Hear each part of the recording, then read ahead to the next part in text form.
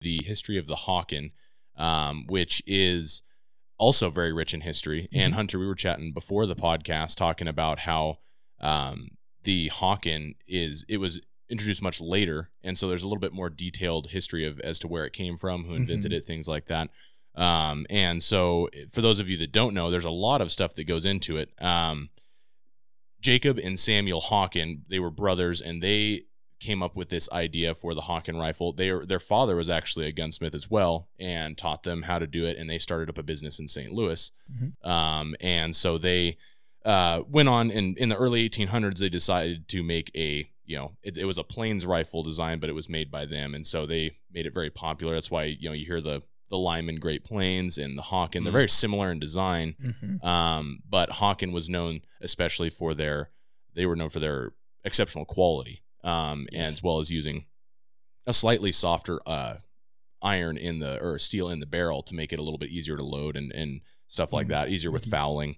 Um, and so uh, they kept going. Uh, Jake Jacob Bridger actually or Jacob Hawken actually ended up dying uh, in 1849 Yeah. and his brother continued the business for about another decade before he sold it to um, JP Gemmer. And so you hear, you know, on our website Hmm. we have the Gemmer Hawken and stuff like that. So Gemmer, he actually he ran the the business until 1915. So he ran Yeah. it for a really long time and um, was producing a lot of uh, good stuff. He was able to replicate the quality. Everything was still Hmm. good. Um, and then he passed, you know, he sold it, retired, uh, but still hung on to the uh, the Hawken shop, as if if as you will. Um, And then when he passed away uh, in the 1960s, it was acquired by a guy named uh, Walter Kennedy, and he gave it to his friend. Um, and his his buddy was a huge fan of the Hawken rifle, so he felt obligated to um, continue to make them um, and produce them. And Mhm. so he, you know, did that for a little while. Only made around around thirty of them before he closed down shop in the eighties. Hmm. And then uh, he ended up selling it to a family in Washington, who, to my knowledge, is still producing original Hawkens to this day. Oh wow. Um, you know, That's as cool. from the research that I was doing, and so um, that's pretty cool. I mean, it's interesting that that piece of history lives on. You know, Yeah. that something Yeah. as, as famous as the Hawken is still around to this day in a place that's you know pretty close to us. Honestly, Oh, they're yeah. just north of us in Washington. So Mhm. um, it's really interesting to to learn up on that history and stuff like that. So. Uh, and so Caleb, I wasn't sure if you wanted to chat about um, just some of the the Hawkens that you know we have in the plains rifle stuff like that. Some of the you know like the twist rate. I know the twist rate is different than like Sure. the Kentucky long rifle. How that's useful and things like that. Yeah, absolutely. So, um, as far as the modern rifles that that we have and that we're familiar with, um, Traditions makes a, a full line of Hawkens style rifles, um, as well as the the long rifles like the Kentucky or the Pennsylvania rifle. Um, but yeah, the Hawken um, twist rate is what you primarily wanted to know about. Um, are right at one in forty eight. Yeah. which for all of those, you know, both sides of the spectrum. If you're a modern inline hunter or a traditionalist, you'll know that it's it's a lot slower twist rate than a modern Mm-hmm. and a little bit slower than like the Kentucky who primarily uses round balls. Why that's important is the 1 in 48 is able to accommodate a round ball or a conical shaped bullet. Sure. So you're just expanding the types of projectiles you can use for whatever application you want to use it for.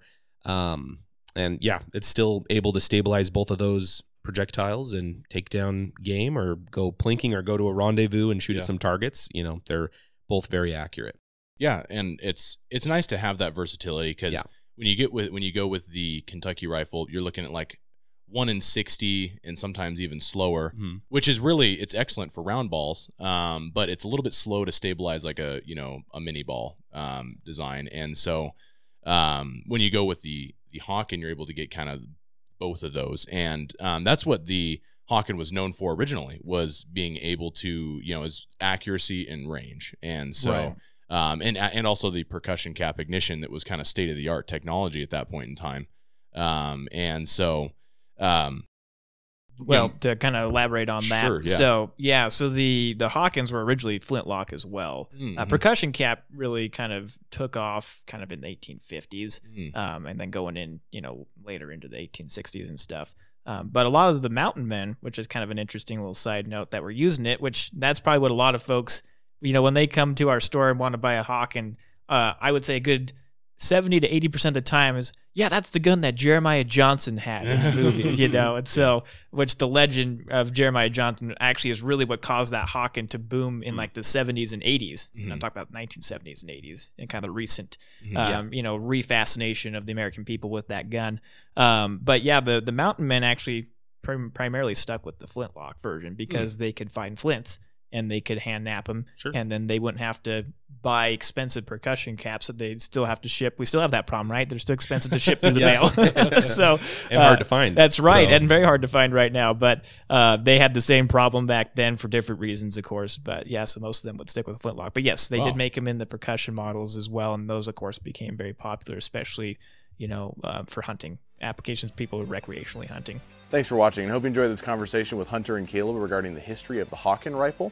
If you want to check out the full episode, then look up the Muzzleloaders podcast, which is available on all major podcast platforms.